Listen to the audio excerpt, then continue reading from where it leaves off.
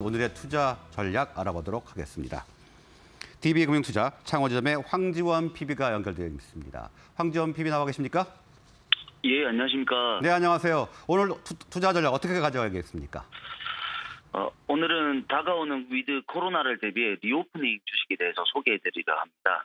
먼저 국내 1차 백신 접종률이 미국과 일본을 앞질렀습니다.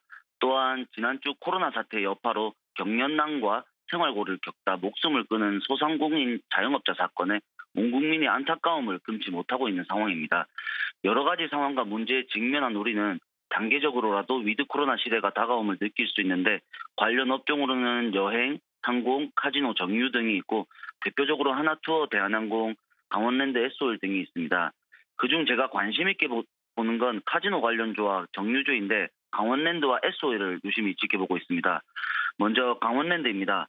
역시 국내 카지노 회복이 가장 빠릅니다. 강원랜드는 현재 위드 코로나로 영업만 정상화되면 회복세가 강하게 나타날 것으로 보입니다.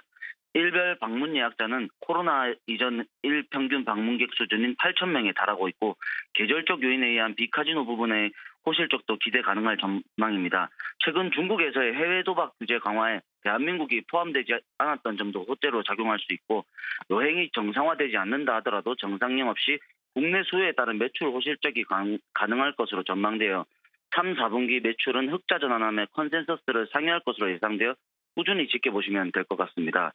다음으로 S-Oil에 대해 말씀드리겠습니다. 정유 관련주는 피크아웃 논란이 아직 단 한 번도 나오지 않았기에 관심을 가질 수밖에 없었습니다.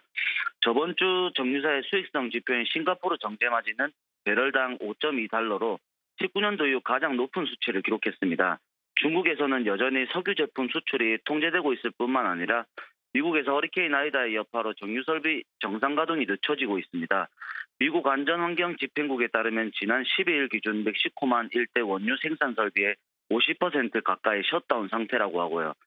마지막으로 난방유 성수기인 겨울철을 앞두고 있어 등경유에 의한 정제마진 강세가 이어질 것으로 보이고 전 세계 위드 코로나 달성 시 항공유 수요도 증가될 전망입니다.